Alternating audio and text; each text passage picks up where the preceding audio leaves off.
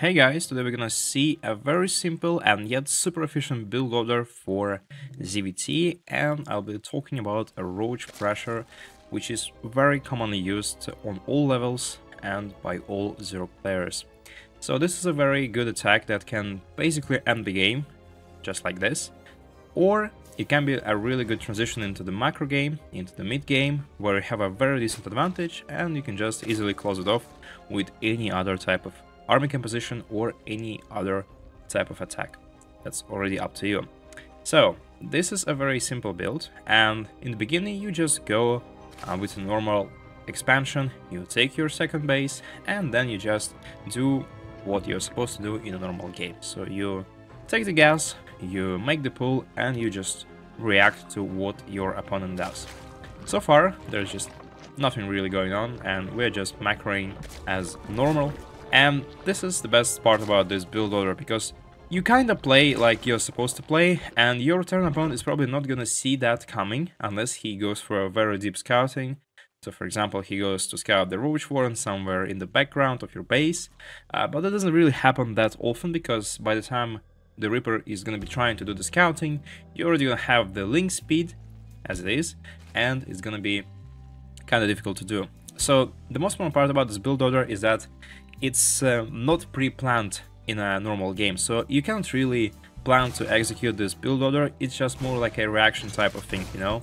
So, for example, here you have to pull drones from the gas and you have to mine minerals and just play normally, because again, this build order works not exactly in all the situations, uh, but that's also very universal, so you can kind of try play it in almost all games, but still I'm gonna add a bit more details to that explanation a bit later on.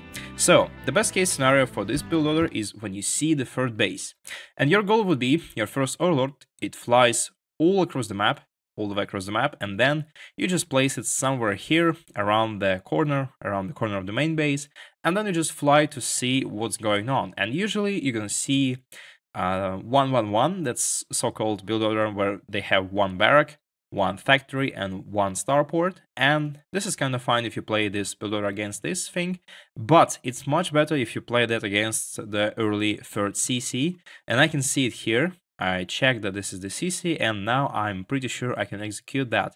Because again when Terran players play this kind of stuff they are usually very vulnerable and they're not gonna aim they're not gonna have a lot of stuff uh, when the attack hits them um, may, they might have like a Banshee or a Liberator or a couple of Hellions, and in my case it's gonna be a couple more Marines than usual, but that's still fine, and there is only one case when this build order is not gonna work, and that's gonna be either Mass Cyclones, which is kinda tough to deal with, but you can still try, but I do not recommend that, or if they, they are going for Siege Tanks for some reason, but again, most of players, unless maybe in some leagues like Gold League or maybe like Silver League, where um, when players like feel a bit, you know, scary of uh, upcoming attacks, they might go for siege tanks just for no reason, just to feel safe, to feel comfortable and cozy on the base.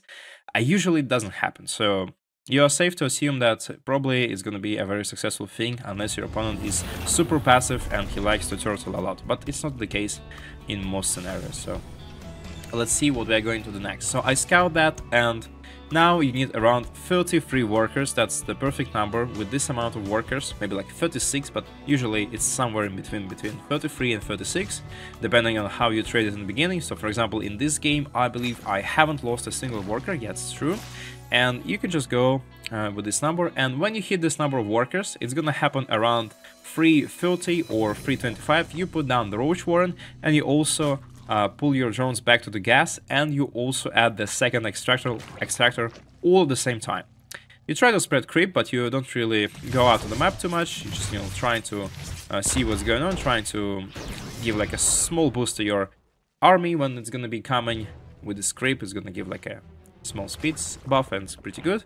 And then you just stop, and the only thing you're gonna do now is make injections, and you're gonna build like 6, 7, 8 roaches depending on how much larva you have. Your goal is gonna be at least 6 or 7, it's fine, and make sure to make additional overlords before you do that. So you can see I make 5, it's not really good, I should have like at least 6 or 7, probably gonna add a bit, and then after you have this roach number, you're just gonna be building pure lings after that. You don't build you don't build really any more roaches because again they are kind of slow and you won't have them by your opponent's base. They are not gonna help you reinforce the attack. So you just keep on making lings. And it's also pretty good if you can try to force your opponent to stay at home. So in this case, my opponent, Mixu, he's a very good Zerg player from Finland, but he's off racing in this case, in this game. He's actually going for Marines and he's going to be playing like a solid macro game, at least he plans to, but Fortunately, it's not going to happen, but anyway, usually Terran players are going to be trying to take map control, they're going to be trying to harass you with Hellions, they might build a Banshee or a Liberator, and the problem is you should try to not get scouted too early. So ideally, you'll get scouted somewhere in the middle of the map when your opponent sees your roaches, or the perfect scenario is when you just, you know, attack the base, and that's the moment your opponent tries to react and counter that, but it's usually too late. Uh, however, you need to make sure that your opponent's Hellions don't see you, like here, or they see the Roach Warren, which is even worse.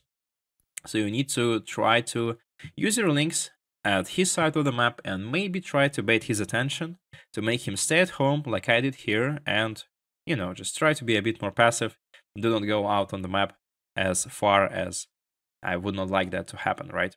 So, and then you just make lings and it's very easy. And as you can see here, my economy is just 57 drones, could be 56, it's okay. And I have three bases. You need the third base uh, for one reason. First reason is because if you don't have the third base, your opponent is going to assume that you are doing something cheeky, cheesy, and hence he's going to be more prepared. And in this case, you can see my opponent feels like he's playing a micro game, while in reality, he's actually uh, being cheesed by me, right? And also the second reason is that you're gonna need a lot of larva. You need those stuff to reinforce with lings, and on two bases it's not gonna be enough. So this is how your base looks. And from this point on, you can actually transition. For example, if you get scouted really early, for example, you get scouted here, and you know your opponent sees your roaches, you can just keep on making drones after that. Maybe make like three to four roaches just to bait him, and then you just defend at home. In case if you see that there is a starport and it's to be around the timing you scout for the third base around 240 or minute 3. You can also put down one spore crawler at each base. so it's very easy to do, right? You put one here, you put one here, and you can actually put one here, but that's not really necessary. And that's also good for Liberators because, again, you never know uh, when his aircraft is going to hit you. He might stay at home with the bench if he sees something is wrong, but you can actually be across the map and need to make sure that you don't lose your economy. So now let's get to the point where we actually attack and we kind of need a couple of Ravagers. The perfect number is 3 uh, because 3 Ravagers they kill a Liberator with 3 shots and they also get a tank with 3 shots so you don't really need more. Uh, and probably you're also not gonna have enough gas for more, so that's fine. And you should try to morph Ravagers somewhere in the beginning of your attack, because Ravagers, they have a slightly higher uh, move speed than Roaches, and you can see that they're, you know, trying to overtake this poor Roach, and, you know, it makes sense to morph them somewhere here, so that they can catch up with the rest of the army, and now, after the latest patch, it also takes a bit more time for them to morph, so probably should do that at home. And then the attack hits, your goal is very simple. You should try to tank with your roaches if you face Hellions. So for example, here I have two Hellions, but normally you might see like 4, 6 or even 8 or even 10 Hellions. And in this case, you need to make sure that your roaches are standing in front and you are not losing your lings. And if, for example, there were more Hellions, I will be trying to use my lings to go uh, for the main base or to go for the workers, but never directly engage with the Hellions because that's very, very bad. And in case if he manages to get all of your lings uh, killed, then it's going to be a big problem because it will be very easy to target other Roaches and Ravagers. And that's uh, the goal. So you can see here I try to fight. I try to make sure that I'm not uh, waiting too much time. I, uh, you know, I shouldn't be giving him time to build a bunker. So, and I see the number of Marines. And again, you don't need to engage immediately. You can just try to poke him to force him to move his SCVs uh, at the front gates, and you can try to kite with your roaches. Uh, and then I will be just waiting for um, the reinforcements, and I will be waiting for my lings to come here. And you can see I have 18 lings in production, and there are actually quite a lot of lings on the map. They're streaming from my bases to his base, and I kind of need to have at least 10 or better 20 to start this attack. Uh, if there were no Marines on the Hellions, then I could have tried to attack with this number, and actually that's something that I'm also doing here. You can see I'm trying to kite, I'm trying to buy time, I'm trying to force him to react, and it works really fine. In this case, I'm taking a very poor engagement. Actually, you should never try to fight without lings, because lings, they serve as a buffer, and they also do quite a lot of DPS damage, actually. Yeah, right, sorry, not the DPS damage, it's the same thing. They do a lot of DPS, so they do a lot of damage, right? And in this case, roaches are kind of unprotected, and uh, it's not the best case scenario for me to fight because again, I know that there's nothing gonna, nothing's gonna come up. He's probably not gonna have uh, more marines or something crazy like a stim pack, or because he already has that, right? So it's a bit better to just step uh, back and wait for a better situation. Here I lose quite a bit of roaches, but again, uh, thankfully my lings arrive just in time, and now I have a lot of buffer. I have like this um, mid shield that takes the damage and I just need to make sure that I don't lose more roaches because again if you lose all, all of the roaches you're probably gonna lose this uh, or you'll have to transition. So make sure that you save at least four or five. You can lose all the roaches but you need to make sure that roaches are not being targeted. And then you should just be focusing on uh, first first thing is that you should make sure that he doesn't build bunkers. So you should target this SCV and you also need to focus down the siege tanks, liberators, and banshees with the ravagers.